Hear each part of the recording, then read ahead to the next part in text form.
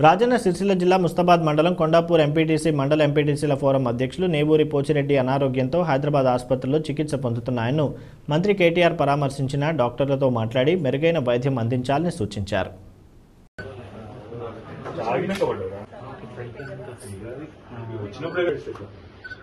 ఉన్న దానికంటే better hospital ఇంకా బెటర్ ఫెసిలిటీ అంటే బెటర్ హాస్పిటల్ కాదు బెటర్ ట్రీట్మెంట్ ఇంకెక్కడ దొరికితే అక్కడ?